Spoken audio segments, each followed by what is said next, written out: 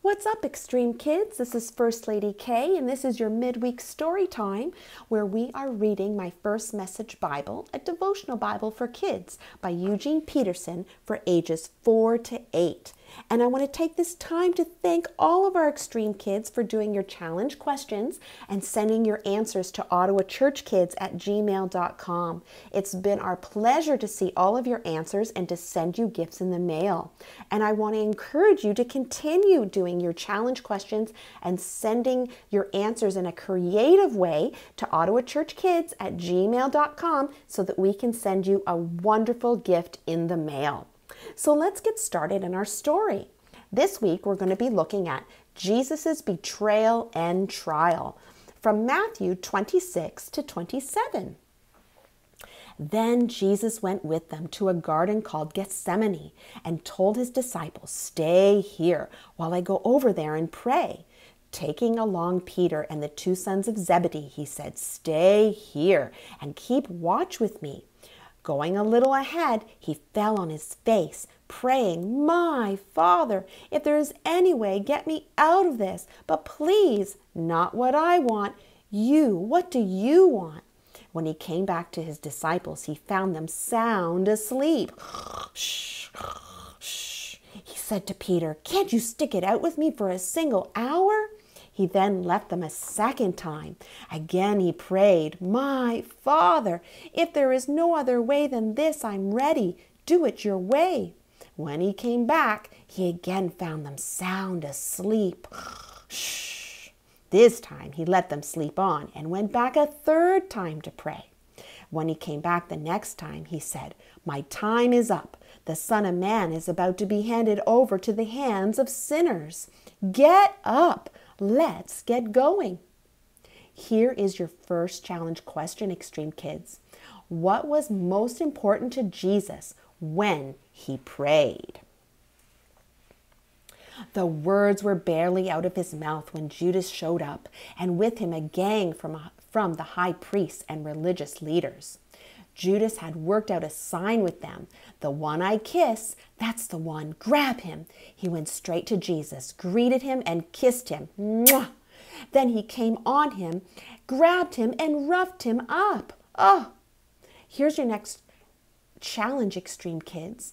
Do you think Jesus knew that Judas was secretly pointing him out? Hmm.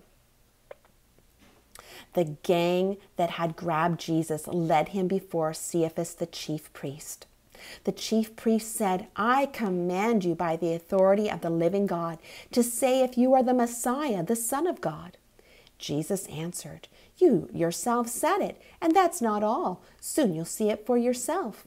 The Son of Man seated at the right hand of the Mighty One, arriving on the clouds of heaven. At that, the chief priest lost his temper, grrr, ripping his clothes and yelling. They all said, Death! That seals his death sentence. Here's your next challenge, extreme kids. Who did Jesus agree he was? Hmm. Now, before we continue on with our story, we have a definition. Crucifixion. What is crucifixion? It is an ancient method of punishment in which the victim was tied or nailed to a large wooden cross and left to hang until dead. Very, very sad. Let's continue our story. Jesus was placed before Pilate the governor, who questioned him, Are you the king of the Jews?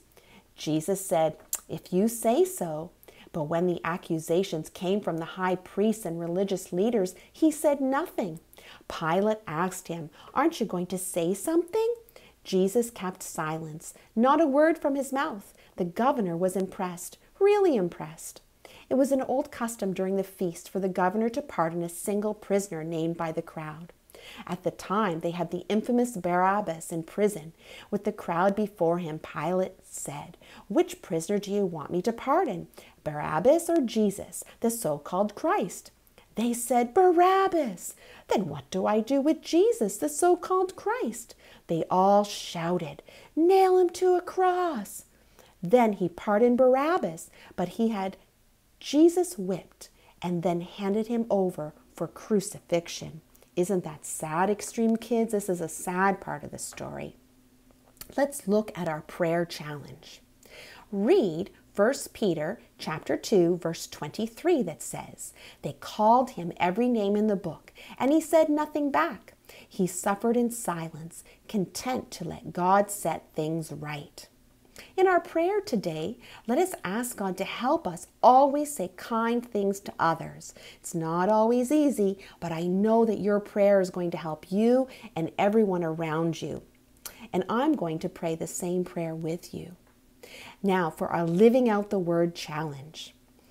When we follow Jesus, we need to obey God like He did. Talk about what that means with your family. That's going to be a wonderful discussion. And this is the second part of your Living Out the Word challenge, Extreme Kids. Make stick figures out of popsicle sticks and act out the story of Jesus, Pilate, and Barabbas. Who would you set free? Oh, I can't wait to see your little stick figures and your story. And I can't wait to read your prayers or to see your prayers. I just know that I'm going to be blessed so much by your challenge answers. Thank you so much, Extreme Kids, for being with us this week. I hope you've been blessed by your midweek story time. I want to encourage you to again send us your answers to ottawachurchkids Church Kids at gmail.com. And remember to keep dreaming extreme and we'll see you next week. This is First Lady K signing off.